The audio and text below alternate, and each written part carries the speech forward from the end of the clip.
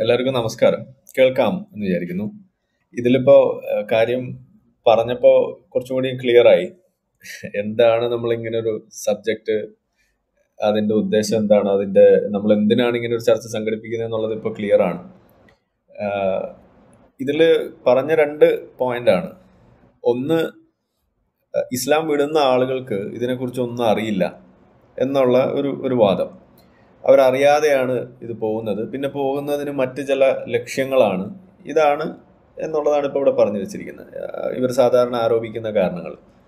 രണ്ടാമത്തെ ഒരു കാര്യം എന്ന് പറയുന്നത് നമ്മുടെ ടൈറ്റിൽ തന്നെയാണ്. അറിഞ്ഞിട്ടും ഇസ്ലാം വിടാത്ത ഇസ്ലാമിസ്റ്റുകൾ എന്ന് പറയുന്ന ആ ടൈറ്റിൽ തന്നെയാണ്. ഇത് രണ്ടും നമ്മളൊന്ന് മനസ്സിലാക്കേണ്ട ഒരു വിഷയമാണ്. ഇതിൽ ആദ്യം പറഞ്ഞ കാര്യം എന്ന് പറയുന്നത് അധികം നീട്ടി പറയുന്നില്ല. ചെറുതാക്കി ഒരു ചെറിയൊരു കാര്യം മാത്രം ഒന്ന് പറയാൻ വിചാരിക്കുക. പണ്ട് ഈ ഹോമിയോപ്പതിനെ വിമർശിക്കുന്ന സമയത്ത് ആദ്യം ചെയ്ത ഒരു ഒരു ഒരു പ്രസന്റേഷൻ ഉണ്ടായിരുന്നു. അപ്പോൾ ആ സമയത്ത് അതിന്റെ ആദ്യത്തെ സ്ലൈഡിൽ കുറച്ച് സാധനം ഒരു കുറച്ച് കാര്യങ്ങൾ എഴുതി വെച്ചിരുന്നു. അപ്പൊ ഞാൻ അതിപ്പോ ജസ്റ്റ് ഒന്ന് ഇങ്ങനെ എടുത്തു നോക്കുമായിരുന്നു ഇതിപ്പോ സംസാരിച്ചുകൊണ്ടിരുന്നപ്പോ പെട്ടെന്ന് എനിക്ക് അത് ഓർമ്മ വന്നു. ഒറ്റവാക്കി പറഞ്ഞു കഴിഞ്ഞാൽ പണ്ട് നമ്മൾ ഇസ്ലാമിനെ വിമർശിക്കുന്ന സമയത്ത് അല്ലെങ്കിൽ എന്ത് തന്നെ സാധനത്തിനെ വിമർശിച്ചാലും ഇപ്പം ഇനി ഏതൊരു മതത്തെ വിമർശിച്ചാലും ശരി അല്ലെങ്കിൽ വേറെ ഏത് പ്രത്യയശാസ്ത്രത്തെ വിമർശിച്ചാലും ശരി സാധാരണ കേൾക്കുന്ന ഒരു കാര്യമാണ് പഠിച്ചിട്ട് വിമർശിക്കൂ എന്നുള്ളത്. ഇപ്പോൾ ഇവിടെ സൂചിപ്പിച്ച ഈ ഒരു കാര്യം എന്ന് പറയുന്നത് അതിന്റെ വേറൊരു ഒരു രൂപം മാത്രമാണ്. അതൊരു പഴയ വീഞ്ഞ് പുതിയ കുപ്പിയിലാക്കിയെന്നേ ഉള്ളൂ. സാധനം അത് തന്നെയാണ്. ഇതറിയാ പഠിച്ചിട്ട് വിമർശിക്കൂ എന്നങ്ങ് പറഞ്ഞിട്ട് അത് ഏൽക്കുന്നില്ല ഇപ്പോൾ അപ്പോൾ ഇനി വേറെ ഒരു രൂപത്തിൽ അത് പറഞ്ഞു വെക്കുകയാണ്. അപ്പൊ ഈ ഹോമിയോപ്പതിനെ വിമർശിച്ചിരുന്ന സമയത്ത് സാധാരണ അവിടുന്ന് കേട്ടിരുന്ന ചില സാധനമുണ്ട്. അത് ഇങ്ങനെയൊക്കെയാണ്. അതായത് നിങ്ങൾക്ക് ഹോമിയോപ്പതിയെ വിമർശിക്കാം. എപ്പോഴാണ് നിങ്ങൾക്ക് വിമർശിക്കാൻ കഴിയുക? നിങ്ങളുടെ കയ്യിൽ ഒരു ബദൽ ആയിട്ടുള്ള ഒരു സാധനം ഉണ്ടെങ്കിൽ നിങ്ങൾക്ക് ഹോമിയോപ്പതിയെ വിമർശിക്കാം. അപ്പോൾ നിങ്ങൾ ഇസ്ലാമിനെ വിമർശിക്കാമെങ്കിൽ വിമ- വിമർശിക്കണമെന്നുണ്ടെങ്കിൽ ഇസ്ലാം എന്ന മതം നിങ്ങൾ വേണ്ടെന്നാണല്ലോ പറയുന്നത്. അപ്പോൾ നിങ്ങൾ പകരം എന്തെങ്കിലും ഒരു സാധനം വെക്കൂ. എന്നിട്ട് സംസാരിക്കൂ. ഇതാണ് ഇവരുടെ നമുക്ക് കമ്പയർ ചെയ്യാൻ പറ്റുന്ന ഒരു സാധനം. ഇനി വേറൊരു ഒരു ഒരു ഒരു ന്യായം എന്ന് പറയുന്നത് നിങ്ങളൊരു ഹോമിയോപ്പതി ഡോക്ടർ ആണെങ്കിൽ നിങ്ങൾക്ക് ഹോമിയോപ്പതി വിമർശി നിങ്ങൾ വിമർശിക്കാൻ പാടില്ല. ഓക്കെ നിങ്ങൾ ഹോമിയോപ്പതി അല്ലെങ്കിൽ നിങ്ങൾക്ക് വിമർശിക്കാം എന്നാണ് പറയുക അതേപോലെ തന്നെയാണ് ഇവരും പറയാ. നിങ്ങളൊരു മുസ്ലിം ആയിട്ടാണ് ഈ പണി എടുക്കണതെന്നാണ് ആദ്യം തന്നെ ചോദിക്കുക. നിങ്ങളൊരു ഒന്നിലെ ഒരു മുസ്ലിം അല്ലേ ഇങ്ങനെയൊക്കെ വിമർശിക്കാൻ പാടുണ്ടോ എന്നാണ് അവർ ചോദിക്കുക. ഇത് തന്നെയാണ് ഹോമിയോക്കാരൻ ചോദിച്ചിരുന്നത്. നിങ്ങൾ ഒന്നില്ലെങ്കിൽ ഒരു ഹോമിയോ ഡോക്ടർ അല്ലേ ഇങ്ങനെ ഹോമിയോപ്പതിനെയൊക്കെ വിമർശിക്കാൻ പാടുണ്ടോ എന്നായിരുന്നു ആദ്യമൊക്കെ ചോദിച്ചിരുന്നത്.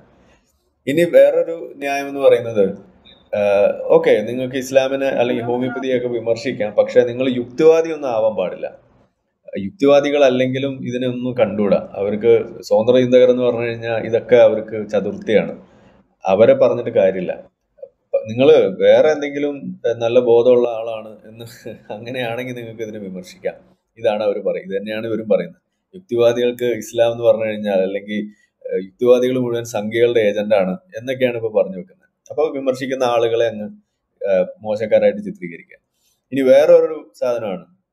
നിങ്ങൾ വലിയ ശാസ്ത്രജ്ഞനാണ് എന്നുണ്ടെങ്കിൽ ഇതിനൊന്നും നിൽക്കണ്ട. ഇത് നമ്മൾ വലിയ സംഭവമൊന്നുമല്ല. നമ്മൾ ഇങ്ങനെ അങ്ങോട്ട് ജീവിച്ചു പോയിക്കോളാം. ഇതാണ് അവർ പറഞ്ഞു തന്നെ അതേപോലെ തന്നെയാണ് ഇവിടെ. നിങ്ങൾ വലിയ ഇതൊന്നും കൊണ്ടുവരണ്ട. ഇതൊരു ആത്മീയ സുഖത്തിന് വേണ്ടിയിട്ടുള്ള ഒരു സാധനമാണ്. ഇത് വെച്ച് നമ്മളൊക്കെ ഇങ്ങനെ അങ്ങ് പോയിക്കോളാം. അതുകൊണ്ട് ഇതിനെ വലിയ വിമർശിച്ച് കൊല്ലേണ്ട കാര്യമില്ല. ഇവിടെ അത് തന്നെയാണ് പറയുന്നത്. ഇനി അവസാനം പറയുന്ന ഒരു ഒരു സാധനമാണ്. നിങ്ങൾ വേറെ ഏതെങ്കിലും ഒരു മതത്തിൽപ്പെട്ട ആളാണെന്നുണ്ടെങ്കിൽ ഇതിനെ വിമർശിക്കരുത്. അതും ഇവർ അവസാനം പറഞ്ഞു വെക്കും. കാരണം നമ്മളൊക്കെ ഒരേ വഞ്ചി പോണ ആൾക്കാരല്ലേ എന്നുള്ളൊരു ഒരു ന്യായം. ഞങ്ങളുടെ ദൈവത്തിന് കുഴപ്പമുണ്ടെങ്കിൽ നിങ്ങളുടെ ദൈവത്തിന് കുഴപ്പമുണ്ട്. സോ നമ്മൾ ആരും അങ്ങോട്ടും ഇങ്ങോട്ടും വിമർശിക്കണ്ട. നമുക്ക് മതസൗഹാർദ്ദമാണ് വേണ്ടത് എന്ന് പറഞ്ഞ് നേരെ വയലിലേക്ക് ഇറങ്ങി ഒരു കുട ചൂടിയിട്ട് ഒരു ഹിന്ദു മുസ്ലിമും ക്രിസ്ത്യാനിയും ഒരുമിച്ച് നിൽക്കുന്ന ഒരു ഫോട്ടോ എടുത്ത് അവർ ചായയും കുടിച്ച് പിരിയും. ഇതാണ് ഇതിൽ സംഭവിക്കുന്നത്. അപ്പോൾ ഈ പറഞ്ഞു വരുമ്പോൾ ഇതിലെ കുഴപ്പമെന്ന് പറയുന്നത് അങ്ങനെയാണെങ്കിൽ ഈ സാധനത്തിന് ഈ ഇസ്ലാമിനെ വിമർശിക്കാൻ ആർക്കാ സാധിക്കുക? ഈ പറയുന്ന കാറ്റഗറി കാറ്റഗറിയിലല്ലാതെ ഒരാളെ നമുക്ക് എവിടുന്ന ചൂണ്ടിക്കാണിക്കാൻ കഴിയുക? ഏതൊരു വ്യക്തി ഇസ്ലാമിനെ വിമർശിച്ചു കഴിഞ്ഞാലും ഇതിലേതെങ്കിലുമൊക്കെ ഒരു ഒരു വകഭേദത്തിൽ വരും. ഇപ്പോൾ ഇസ്ലാമിനകത്ത് നിന്ന് വിമർശിച്ചിരുന്ന ഒരാളുടെ ഗതി എന്താണെന്ന് നമുക്കറിയാം. ചേകന്നൂർ മൗലവി. അനിസ്പ്രയുടെ കഥ പറഞ്ഞ പോലെയാണ്. പൊടി പോലും കാണാനില്ല എന്നുള്ളതാണ് അവസ്ഥ. അപ്പോൾ ഇനി പുറത്തു നിന്ന് വിമർശിച്ചാൽ എന്താ സ്ഥിതി? അബ്ദുൽ ഖാദർ പുതിയങ്ങാടിയുടെ കഥ നമുക്കറിയാം. നേരെ പിടിച്ച് ജയിലിലാക്കും. അതാണ് അതിൽ സംഭവിക്കുന്നത്. ഇനി ഇന്ത്യന്ന് പറ്റിയില്ല എന്നുണ്ടെങ്കിൽ നിങ്ങൾ അവരെ നോട്ട് ചെയ്ത് വെക്കുക. എന്നിട്ട് അവർ ദുബായിലോ കുവൈത്തിലോ എവിടെയെങ്കിലും വരുന്ന സമയത്ത് അവർ അവിടെ വെച്ച് പൂട്ടണം എന്ന് ഉപദേശവും കൊടുക്കും. ജാക്കിർ നായിക്ക് കൊടുത്ത ഉപദേശമാണ്. ഇതാണ് ഇതിനകത്ത് നടക്കുന്നത്. അപ്പോൾ അകത്തു നിന്നും വിമർശിക്കാൻ കഴിയില്ല പുറത്തു നിന്നും വിമർശിക്കാൻ കഴിയില്ല. അതിനിപ്പോൾ ആര് വിമർശിച്ചു എന്നുള്ളത് അല്ലെങ്കിൽ ഇതിനെ പഠിച്ചിട്ട് പറഞ്ഞു എന്നാലും ഇതിലെ ഇതിലെ പോരായ്മകൾ നമ്മൾ ചൂണ്ടിക്കാണിച്ചാലും ഒന്നും ഇതിനകത്ത് ഇവർ അനുവദിക്കാൻ പോകുന്നില്ല. അപ്പൊ നമുക്കിപ്പോ ഇത് നമുക്കിത് ചെയ്യാൻ ഇവരുടെ അനുവാദത്തിന്റെ ആവശ്യമൊന്നുമില്ല. അത് വേറെ ഒരു കാര്യം. പക്ഷെ നമ്മൾ വിമർശിക്കുന്ന സമയത്ത് ഈ ചോദ്യങ്ങളുടെ ഒരു നമുക്ക് മുന്നേ മുന്നിൽ വെക്കുന്ന ഇത്തരം ന്യായങ്ങളുടെ ഒരു ഒരു സ്വഭാവം എന്ന് പറയുന്നത് അതൊരു അനുവാദത്തിന്റെ അല്ലെങ്കിൽ ഒരു ഞങ്ങൾക്കും കൂടി തൃപ്തിയാകുന്ന തരത്തിലുള്ള ഒരു വിമർശനമായിക്കോളൂ എന്നുള്ളൊരു ധ്വനിയാണ് അവർ വരുത്തി വെക്കുന്നത്. പക്ഷെ ഇതിലെ വാസ്തവം ഇസ്ലാം എന്ന് പറയുന്നതിൽ ജനാധിപത്യം എന്ന് പറയുന്ന ഒരു സാധനമില്ല. അല്ലെങ്കിൽ അഭിപ്രായ പ്രകടനം എന്ന് പറയുന്നതിന് ഒരു വാല്യൂ ഇല്ല. അതിനകത്തൊരു ജനാധിപത്യ മൂല്യമില്ല. ഡിബേറ്റുകൾ എന്ന് പറയുന്ന ഒരു സാധനമില്ല തെറ്റുകൾ ചൂണ്ടിക്കാണിച്ച് സ്വയം പരിഷ്കരിക്കുക എന്ന് പറയുന്നത് മതത്തിന്റെ ഒരു ഒരു ലക്ഷണമേ അല്ല. അത് ഇസ്ലാമിന് ഒട്ടും യോജിച്ചതല്ല. കാരണം അത് യോജിച്ചതല്ല എന്ന് നമുക്ക് പഠിപ്പിച്ചു തന്നത് മുഹമ്മദ് തന്നെയാണ്. തന്നെ വിമർശിച്ച് കവിത എഴുതിയ ആളുകളെയും കഥ പറഞ്ഞ ആളുകളെയൊക്കെ വെട്ടിക്കൊന്ന് കുഴിച്ചുമൂടിയ കഥയാണ് നമുക്ക് അറിയാനുള്ളത്. അപ്പോൾ അതിലൊന്നും നമ്മൾ കൂടുതൽ ചെകഞ്ഞു നോക്കേണ്ട കാര്യമില്ല. അപ്പോൾ പഠിച്ചിട്ട് വിമർശിക്കൂ എന്ന് പറയുന്ന ഒരു സാധനം. അത് പണ്ട് കാലത്ത് ഇവർ ഏറ്റവും കൂടുതൽ ഉപയോഗിച്ചിരുന്ന ഒരു കാര്യമാണ്. അതിപ്പോൾ നടക്കുന്നില്ല. അപ്പോൾ ഇനി അതിനെ ഓവർകം ചെയ്യാൻ വേണ്ടി ഇവർ ആദ്യം പടച്ചുവിട്ട ഒരു സാധനമാണ് സ്വതന്ത്ര ചിന്തകർ കുട്ടികളെ വഴിതെറ്റിക്കുന്നു എന്ന് പറഞ്ഞിട്ടുള്ള ഒരു ക്യാമ്പയിൻ അതും പറഞ്ഞ് ഒരുപാട് കാര്യങ്ങൾ ഇവിടെ പറഞ്ഞു വെച്ചു. നമ്മൾ ചുമ്മാ ഗൂഗിളിൽ ഇമേജ് സെർച്ച് എടുത്തിട്ട് ഉസ്താദ് മദ്രസ എന്ന് മാത്രം മലയാളത്തിൽ ഒന്ന് അടിച്ചു കഴിഞ്ഞാൽ ഇംഗ്ലീഷിലും അടിച്ചു കഴിഞ്ഞാൽ വരുന്ന ചിത്രങ്ങൾ മാത്രം ഒന്ന് സ്ക്രീൻഷോട്ട് എടുത്തിട്ട് അതിന്റെ താഴെ സ്വതന്ത്ര ചിന്തകർ കുട്ടികളെ വഴിതെറ്റിക്കുന്നു എന്നുള്ള ഒരു ക്യാപ്ഷനും ചേർത്ത് ഒന്ന് ഫേസ്ബുക്കിൽ പോസ്റ്റ് ഇട്ടതുള്ളൂ രണ്ട് ദിവസം കൊണ്ട് ആ സാധനം അവിടെ ഇല്ലാതെ ഇത്രയേ ഉള്ളൂ ഇവരുടെ ഈ ധാർമ്മികത ഒക്കെ ഉയർത്തി പിടിച്ചിട്ട് ഇവർ കാണിക്കുന്ന ഈ ഈ ഒരു വാദം എന്ന് പറയുന്നത്. ഇതൊരു ഒരു സോപ്പ് കുമ്പളയുടെ ബലം പോലും ഇല്ല അതിന്. അത്ര ആയുസ് പോലും അതിനില്ല. കാരണം ഈ പറയുന്ന ധാർമ്മികതയുടെ ഏഴയലത്ത് എത്തുന്ന ഒരു ഒരു ക്വാളിറ്റി ഉള്ള ഒരു പേഴ്സണാലിറ്റിയോ അല്ലെങ്കിൽ ഒരു പേഴ്സണൽ ലൈഫോ ഇവർ വലിയ നേതാവാണെന്ന് കൊണ്ട് നടക്കുന്ന പറഞ്ഞു നടക്കുന്ന മുഹമ്മദിനില്ല. പിന്നെ എങ്ങനെയാണ് അത് വെച്ചുകൊണ്ട് നമ്മളെ അളക്കുന്നത്? അപ്പൊ നമ്മളെ അളക്കുന്ന ആ അളവ് പോലെ വെച്ച് നമ്മൾ തിരിച്ച് മുഹമ്മദിനെ അളക്കുമ്പോൾ അവിടെ ഭേദം നമ്മളായി മാറുന്നു. ഇതാണ് അതിന്റെ പ്രശ്നം. അടിമ സ്ത്രീകളെ തന്റെ അനുയായികൾക്ക് ബലാത്സംഗം ചെയ്യാൻ വേണ്ടി നമ്മുടെ ഇന്നത്തെ ഭാഷയിൽ പറഞ്ഞ ബലാത്സംഗം ചെയ്യാൻ വേണ്ടി അനുവാദം കൊടുക്കുകയും അതിന് മടിച്ചു നിന്ന ആളുകളെ പ്രേരിപ്പിക്കുകയും ചെയ്ത ഒരു ഒരു ഒരു പ്രവാചകനാണ് ഈ പറയുന്ന മുഹമ്മദ് എന്ന് പറയുന്നത്. അത്തരത്തിലുള്ള ഒരു വ്യക്തിയെ നമുക്ക് ഇന്ന് എങ്ങനെയാണ് ഉൾക്കൊള്ളാൻ കഴിയുക? അപ്പോൾ ഇത് നമ്മൾ തുറന്ന് പറയും. ആ പറയേണ്ടി വരുന്ന ഒരവസ്ഥ അത് ഉണ്ടാക്കിയത് ഇവർ തന്നെയാണ്. കാരണം ആ അളവുകോൽ നമുക്ക് നേരെ വെച്ച അളവുകോൽ ഇത്തരം കാടൻ നിയമങ്ങളും ഇത്തരം മാനവിക വിരുദ്ധമായ നിയമങ്ങളും അതുപോലെയുള്ള സ്ത്രീവിരുദ്ധമായ കാര്യങ്ങളും അതുപോലെയുള്ള പല പല വിഷയങ്ങൾ ഇവരെടുത്ത് വെക്കുമ്പോൾ അതിൽ തിരിച്ച് നമ്മൾ അതേ അളവ് പോലെ വെച്ചിട്ട് അവരെ തിരിച്ചൊന്ന് അളന്നു നോക്കിയപ്പോഴാണ് ഇത്തരം കഥകളും ഹദീസുകളൊക്കെ കുഴിച്ചു മൂടിയിരുന്ന സാധനങ്ങൾ നമ്മൾ പുറത്തേക്ക് ഇടേണ്ടി വന്നത് അപ്പോൾ അതുകൊണ്ട് ഈ പഠിച്ചിട്ട് വിമർശിക്കൂ എന്ന് പറയുന്ന സാധനത്തിന്റെ വേറൊരു കുപ്പിയിലാക്കിയ രൂപം മാത്രമാണ് ഈ പറയുന്ന സാധനം. അതിനൊന്നും നമ്മൾ ഇതേപോലെ വലിയ വാല്യൂ കൊടുക്കേണ്ടതില്ല. അത് അവരുടെ ഒരു ഒരു റെഡ് ഹെറിങ് ഒരു ശ്രമം മാത്രമാണ് നമ്മളെ ശ്രദ്ധ തിരിക്കാൻ വേണ്ടിയിട്ടുള്ളത്. നമ്മൾ നടത്തിക്കൊണ്ടിരിക്കുന്ന ഇസ്ലാം മത വിമർശനം എന്ന് പറയുന്നത് അത് ഒരു തടസ്സമില്ലാതെ നമുക്ക് തുടർന്നു കൊണ്ട് തന്നെ പോകേണ്ടതുണ്ട്. കൂടുതൽ ആളുകൾ ഇപ്പോൾ നമുക്ക് അറിയാവുന്ന പോലെ ഒരുപാട് ചെറുപ്പക്കാർ ഇത്തരം കാര്യങ്ങളുടെ പൊള്ളത്തനങ്ങൾ മനസ്സിലാക്കി പുറത്തേക്ക് വന്നുകൊണ്ടിരിക്കുകയാണ്. ഇനി ഒരു ചെറിയൊരു കാര്യം കൂടി പറയാം. നമ്മളുടെ ടൈറ്റിൽ അറിഞ്ഞിട്ടും ഇസ്ലാം വിടാത്ത ഇസ്ലാമിസ്റ്റുകൾ എന്ന് പറയുന്ന ഒരു സംഗതി. ഞാനൊരു ഒരു ലിങ്ക് ഉണ്ട്. അത് ഈ പറയുന്ന നമ്മളുടെ വാവ ബഷീറിന് ഞാൻ അയച്ചു തരാം. പറ്റുമെങ്കിൽ നമ്മളുടെ ഈ ഗ്രൂപ്പിൽ അതൊന്ന് പിൻ ചെയ്ത് വെക്കണം. Pin a link. എനിക്കത് പിൻ ചെയ്യാൻ പറ്റുമെങ്കിൽ ഞാൻ തന്നെ ചെയ്യാം.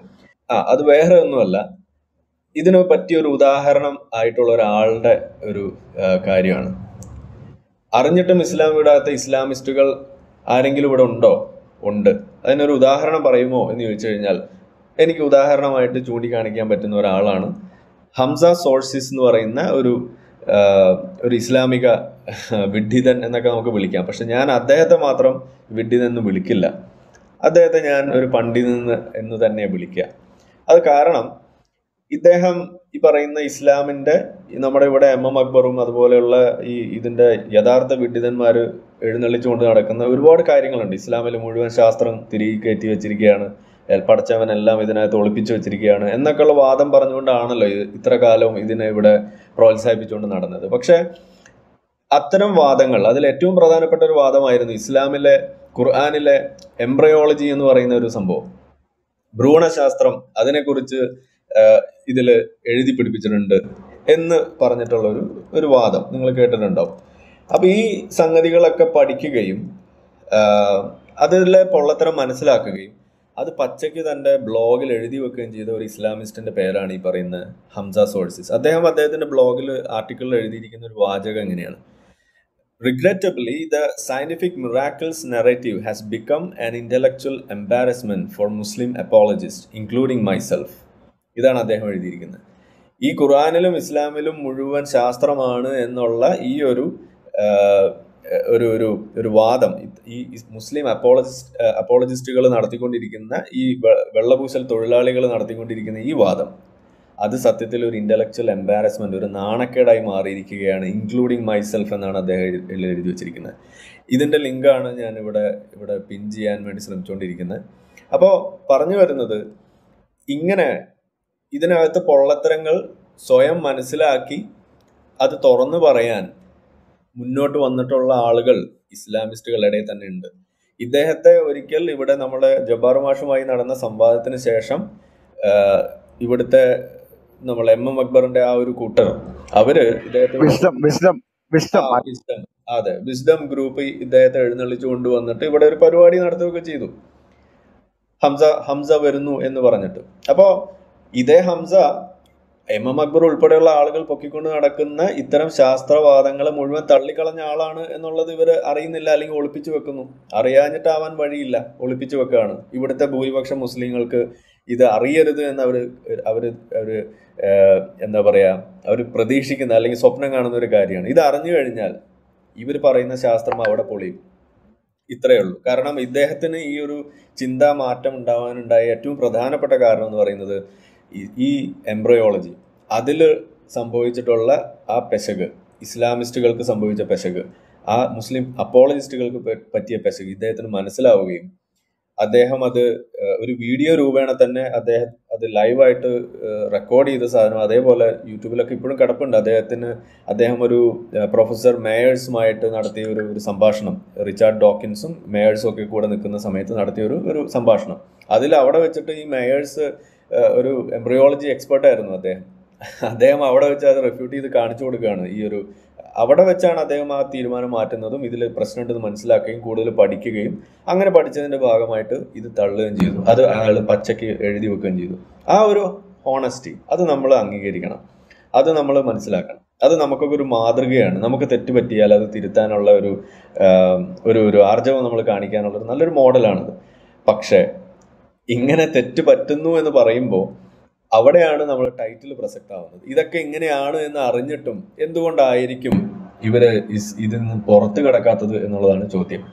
അതാണ് നമ്മുടെ ടൈറ്റിലിന്റെ ഒരു ഉദ്ദേശം. അങ്ങനെ നോക്കുമ്പോൾ എനിക്ക് അതിന് പറയാനുള്ള ഒന്ന് രണ്ട് കാരണങ്ങളിൽ ഏറ്റവും പ്രധാനപ്പെട്ട കാരണം എന്ന് പറയുന്നത് അത് വലിയൊരു റിസ്ക് ആണ് എന്നുള്ളതാണ് ആ റിസ്ക് എന്ന് പറഞ്ഞു കഴിഞ്ഞാൽ ഇപ്പോ ആ, നേരത്തെ നമ്മൾ പറഞ്ഞു ഈ ഹോമിയോപ്പതിക്കാർ പറയുന്ന ആ കാരണങ്ങൾ. അതേപോലെയുള്ള കാരണങ്ങൾ തന്നെയാണ് ഇവരും പറയുന്നത്. പക്ഷെ നമുക്കിവിടെ നേരിടുന്ന പ്രശ്നം എന്ന് പറയുന്നത് ഹോമിയോപ്പതി നമ്മൾ ഉപേക്ഷിക്കുമ്പോൾ നമുക്ക് നമ്മളുടെ ഒരു ഒരു ലൈവ്ലിഹുഡിനെയാണ് അത് ബാധിക്കുന്നത്. നമ്മളുടെ നമുക്ക് വേറെ എന്തെങ്കിലും തരത്തിലുള്ള ഒരു ജോബ് കിട്ടുകയാണെന്നുണ്ടെങ്കിൽ അത് അവിടെ നമുക്ക് നികത്തി പോകാം. അതേസമയം മതം നമ്മൾ ഉപേക്ഷിക്കുന്നു അതിൽ നിന്ന് പുറത്തു കിടക്കാൻ ശ്രമിച്ചു കഴിഞ്ഞാൽ അത് അങ്ങനെ വേറൊരു മതത്തിൽ കയറിക്കൊണ്ട് നമുക്ക് രക്ഷപ്പെടാൻ പറ്റുന്ന ഒരു സാധനമല്ല. ഒന്ന് രണ്ടാമത്തത് നമ്മൾ ഒറ്റപ്പെടുകയാണ്. സാമൂഹികമായിട്ട് നമ്മൾ ഒറ്റപ്പെടുന്നു എന്നുള്ളതാണ് ഇതിന്റെ ഏറ്റവും വലിയ പ്രശ്നം. ഇത് കുറച്ചങ്ങ് കഴിഞ്ഞു കഴിഞ്ഞാൽ ഇതിനൊന്നും വലിയൊരു പ്രസക്തി ഇല്ല. ഈ മതം മാറുന്നതൊക്കെ നമ്മളിപ്പോൾ സിം മാറ്റുന്ന പോലെ ഒരു ഒരു സംഭവമായിട്ട് മാറും. ആളുകൾക്ക് ഇനി ഒരു ഫോണും ഇല്ലാതെ നടക്കാൻ പറ്റുന്ന പോലെയൊക്കെ ഇതും ഒരു മതവും ഇല്ലാതെ നടക്കാം. നമ്മളൊക്കെ ഇപ്പം ഒന്ന് ശ്രമിച്ചുകൊണ്ടിരിക്കുന്ന അതിന് വേണ്ടിയിട്ടാണ്. ഇത് നോർമലൈസ് ചെയ്യുക എന്നുള്ളതാണ് ഇത് നോർമലൈസ് ചെയ്യാത്ത കാലത്തോളം ഇതിനകത്തൊരു സങ്കോസ്റ്റ് ഫാലസി വരുന്നത് നമ്മൾ ഇത്ര കാലവും പറയുകയും പ്രചരിപ്പിക്കുകയും ചെയ്തുകൊണ്ടിരുന്ന ഒരു സാധനം അതിനി ഒരു ദിവസം നേരം വിളിക്കുമ്പോൾ എണീറ്റ് വന്നിട്ട് ഇത് തെറ്റാണെന്ന് പറഞ്ഞാൽ അത് എങ്ങനെയായിരിക്കും ആളുകൾ സ്വീകരിക്കുക? എന്നെക്കുറിച്ച് അവരെന്ത് വിചാരിക്കും? ഇത്തരം ചില ലോഡ് ലോഡ് ചില എന്താ പറയുക അവരുടെ തലയിൽ ഏറ്റിക്കൊണ്ട് നടക്കുന്ന ഒരു ഒരു- ലോഡുണ്ട്. ആ ലോഡാണ് സത്യത്തിൽ അവരെ കൊണ്ട് ഇത്തരം തീരുമാനങ്ങൾ അതല്ലെങ്കിൽ ഇത് ഇസ്ലാം വിടാതെ ഇരിക്കാൻ അവരെ പ്രേരിപ്പിക്കുന്നത് അല്ലെങ്കിൽ അവരെ തടസ്സം നിൽക്കുന്നത്. ഇതേപോലെ സങ്കോസ് ഫാലസി എന്ത് എന്ത് വിചാരിക്കും? അല്ലെങ്കിൽ അവരെങ്ങനെ ഇനി ഞാൻ ഇത് ഇത്ര ആയില്ല ഇനി എന്തിനാ അപ്പോൾ ഇനി ഇങ്ങനെയൊക്കെ അങ്ങ് പോകാം എന്നുള്ളൊരു ചിന്തയിലേക്ക് വരുന്നു. ഇതുപോലെയുള്ള കാര്യങ്ങളാണ് പലപ്പോഴും ഇത്തരം പാരലിം ഷിഫ്റ്റുകൾ നമുക്ക് പലപ്പോഴും എടുക്കുന്നതിന് തടസ്സം നിൽക്കാറ്. ഇവിടെയും സംഭവിക്കുന്നത് തന്നെയാണ്. ഇത് ബേസിക്കലി പച്ചയ്ക്ക് പറഞ്ഞു കഴിഞ്ഞാൽ ഇത് കച്ചവടത്തെ ബാധിക്കുന്നു എന്നുള്ളത് തന്നെയാണ്. മതം നല്ലൊരു കച്ചവടം തന്നെയാണ്. കച്ചവടം ആർക്കും ചെയ്യാം. മതവും ഒരു കച്ചവട വസ്തു തന്നെയാണ്. പക്ഷെ ഈ കച്ചവടം അത് നുണ പറഞ്ഞിട്ടുള്ള ഒരു കച്ചവടമാവുന്നു. അല്ലെങ്കിൽ നമ്മൾ ആളുകളെ വഴിതെറ്റിക്കുന്ന തരത്തിലുള്ള കച്ചവടമാവുന്നു എന്നുള്ളതാണ് അതിന്റെ പ്രശ്നം. അപ്പോ സത്യത്തിൽ അറിഞ്ഞിട്ടും ഇസ്ലാം വിടാത്ത ഇസ്ലാമിസ്റ്റുകൾ എന്ന് പറയുന്നത് ഒരു വാസ്തവമാണ്. ഇവിടെയുള്ള മിക്ക മതപുരോഹിതന്മാരും നമ്മൾ വിളിക്കാറുള്ള ഇസ്ലാമിക അല്ലെങ്കിൽ മതവിഡ്ഢിതർ എന്ന് ഞാൻ വിളിക്കാറുള്ള ആളുകൾ പണ്ഡിതർ എന്ന് വിളിക്കാറില്ല വിഡ്ഢിതർ എന്നേ വിളിക്കാറുള്ളൂ. അവരിൽ ഭൂരിഭാഗത്തിനും മുഴുവൻ പേർക്കും എന്ന് തന്നെ വേണമെങ്കിൽ പറയാം. അവർക്ക് ഇതെല്ലാം കൃത്യമായിട്ട് അറിയാം. അവർ ഇത് അറിയുന്നത് കൊണ്ട് തന്നെയാണ് അത് വിടാത്തതും. കാരണം അത് വിടാതിരിക്കുന്നതാണ് അവർക്ക് കാരണം ഏറ്റവും കൂടുതൽ മാനസിക ഉല്ലാസം അനുഭവിച്ച ഇസ്ലാമിന്റെ ചരിത്രത്തിലുള്ള വ്യക്തി ആരെന്ന് ചോദിച്ചു കഴിഞ്ഞാൽ അത് മുഹമ്മദ് തന്നെയാണ്. ഏറ്റവും നന്നായിട്ട് ജീവിതം ആസ്വദിച്ച ഒരു വ്യക്തിയാണ്. അദ്ദേഹം കള്ളു കുടിച്ചതിന്റെ കഥയൊക്കെ ഇപ്പൊ എം എം അക്ബർ പറഞ്ഞു തരുന്നുണ്ടായിരുന്നു. അപ്പോൾ അതൊന്നും നമ്മൾ ഇനി കൂടുതൽ പറയുന്നില്ല. അപ്പോൾ പറഞ്ഞത് ഇത്രയേ ഉള്ളൂ. ഇത് ഒരു പഴയ വീഞ്ഞ് പുതിയ കുപ്പിയിലാക്കുന്ന പരിപാടിയാണ്. ഇപ്പോൾ ഇസ്ലാമിസ്റ്റുകൾ പറഞ്ഞുകൊണ്ടിരിക്കുന്ന ഈ ഒരു വാദം. നിങ്ങൾ മതം പഠിക്കാതെയാണ് പോയത്. അറിഞ്ഞിരുന്നെങ്കിൽ നിങ്ങൾ പോകില്ലായിരുന്നു എന്നുള്ളത്. അതിനുള്ള മറുപടിയാണ് ഹംസ സോഴ്സസ് നമുക്ക് പറഞ്ഞു തന്നത്. അദ്ദേഹത്തിന് അത് അറിഞ്ഞിട്ടും അദ്ദേഹം പോവാതെ നിൽക്കുന്നു എന്നുള്ളത് തന്നെ. അറിഞ്ഞ വ്യക്തികൾ ഇവിടെ ഉണ്ട്. പക്ഷെ പോകാൻ സാധിക്കില്ല. അതിന് പല കാരണങ്ങൾ. അതിൽ ഏറ്റവും പ്രധാനമാണ് ഇത്തരത്തിലുള്ള തടസ്സങ്ങൾ. സാമൂഹികമായ ഒറ്റപ്പെടലുകളും നമ്മൾ ഇത്ര നാൾ ചെയ്ത കാര്യങ്ങൾ പെട്ടെന്ന് ഒരു ദിവസം തിരുത്തി പറയുമ്പോൾ ഉണ്ടാവുന്ന ചില മാനസികമായ ബുദ്ധിമുട്ടും അതുപോലെയുള്ള കാര്യങ്ങൾ തടസ്സം നിൽക്കുമ്പോഴാണ് നമ്മൾ അതിൽ നിന്ന് പിന്തിരിയുന്നത്. അപ്പോൾ ഇവിടെ ഇത് നമ്മൾ വളരെയധികം ചർച്ച ചെയ്യേണ്ട ഒരു കാര്യമാണ്. ഇത് നോർമലൈസ് ചെയ്യാൻ ഈ ഒരു ചർച്ച വളരെയധികം ഉപകാരപ്പെടുന്നതാണ് എനിക്ക് തോന്നുന്നത്. എന്തായാലും ഇത് സംഘടിപ്പിച്ചതിന്റെ അണിയറ പ്രവർത്തകർക്ക് എല്ലാ ആശംസകളും എല്ലാം നന്ദി അറിയിക്കുന്നു. സംസാരിക്കാൻ ക്ഷണിച്ചതിന്. താങ്ക്